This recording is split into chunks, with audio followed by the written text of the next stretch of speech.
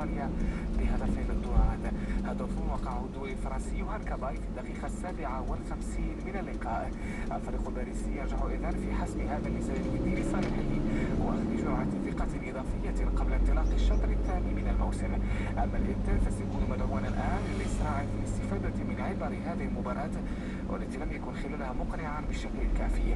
وبعيدا عن الجانب التنافسي فقد شكل هذا اللقاء موعدا احتفاليا بالنسبة لجماهير المراكشية التي حضرت بأعداد جيدة للقاء وتفاعلت مع أطواره.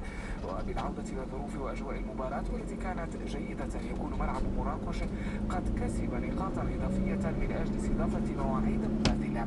هي إذا حركية إيجابية يعرفها المغرب على هذا الصعيد.